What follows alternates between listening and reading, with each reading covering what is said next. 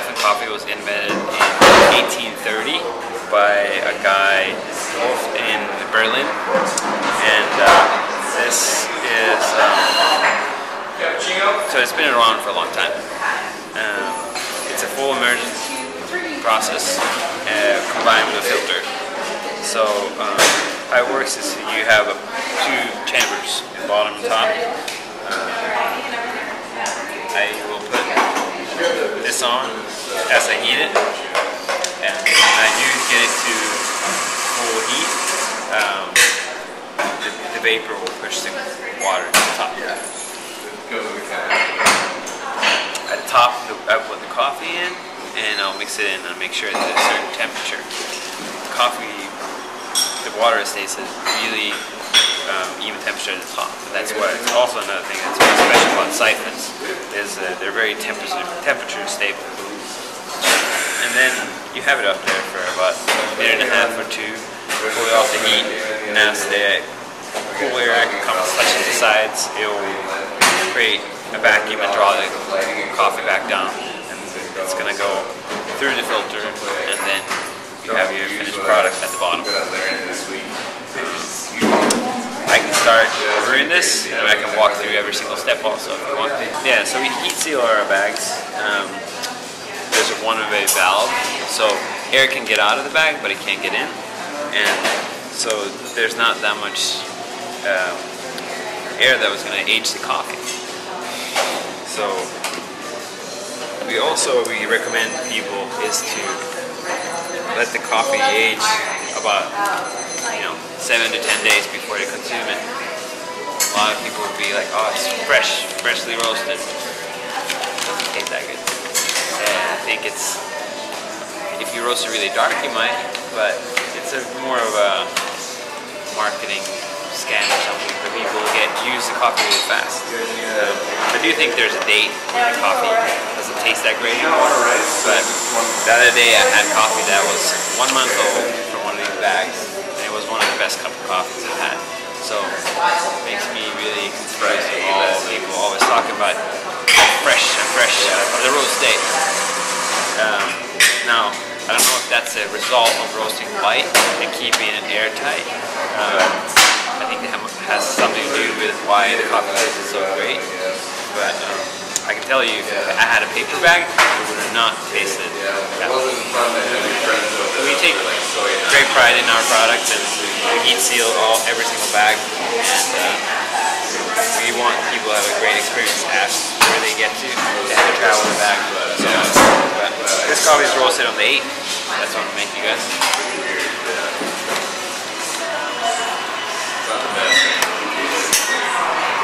And today's the 22nd. So, right now we're using about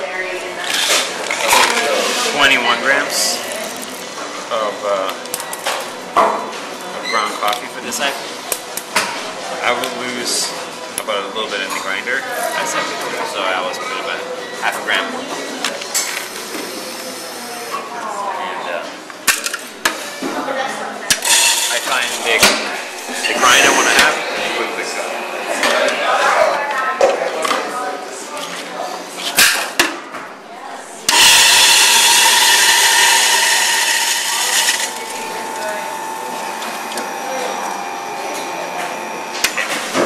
So I weigh the coffee afterwards to make sure it's the right amount. That is.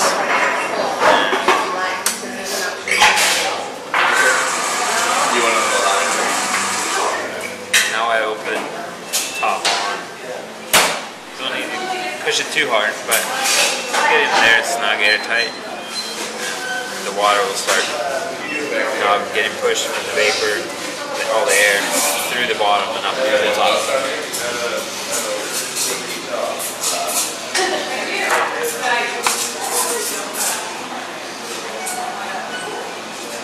As the, uh, the water's at top, I'm gonna get like a more controlled temperature that's going to stay kind of even throughout the whole extraction.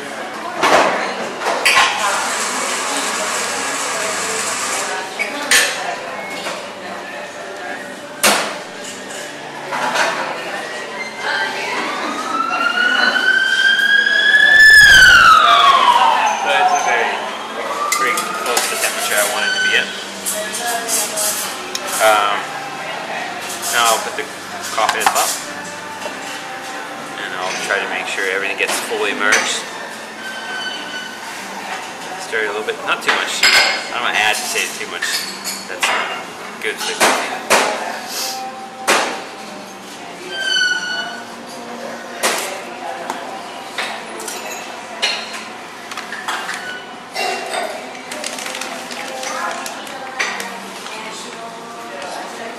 So you see uh, how it's building a layer and kind of a crust, like th- th- there's a lot of uh, gases in the coffee, the way it's blooming.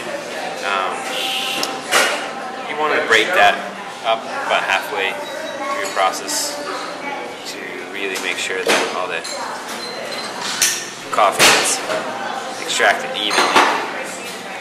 Once again, I can't be too aggressive with coffee because you end up uh, over agitating and uh, killing a lot of the sweet flavors. Over extracting coffee.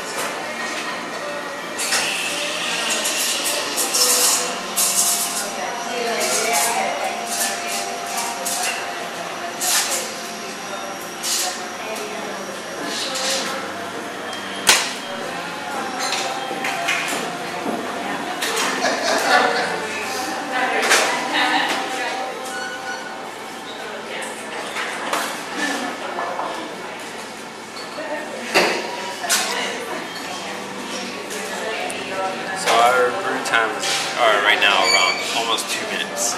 Seems quite a, kind of a long for a siphon, but I don't know. That's where they seem to be extracting good right now. Maybe it'll be shorter in five or six months from now, but right now the, the way we're roasting and the way we're brewing, it seems to work out.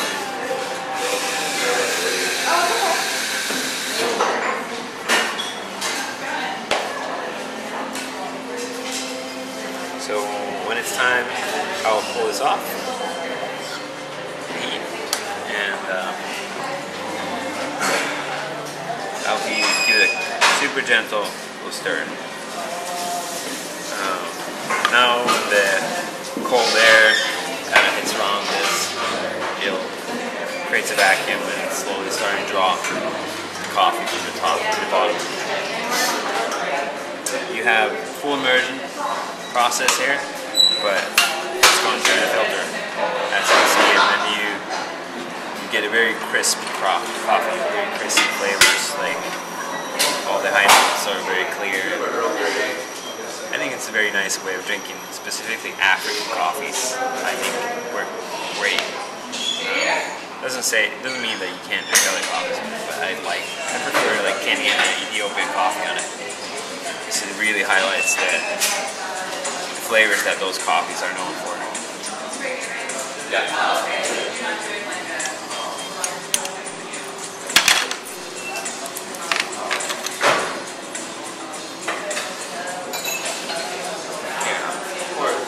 cups for you guys.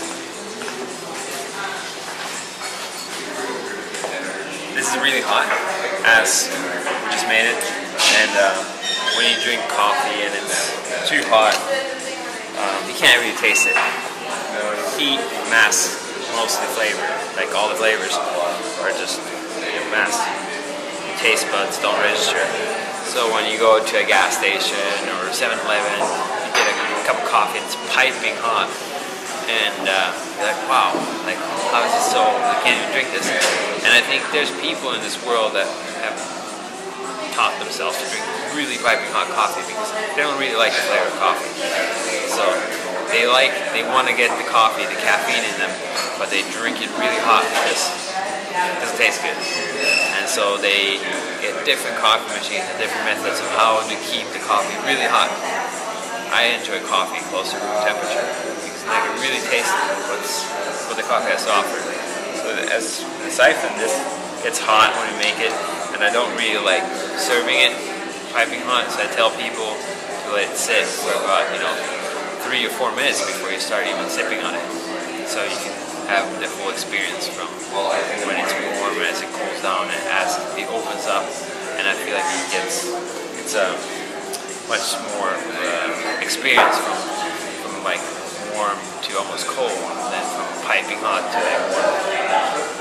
That kind of seems weird for coffee, but really, if you want to taste it, you should drink it at really hot temperature.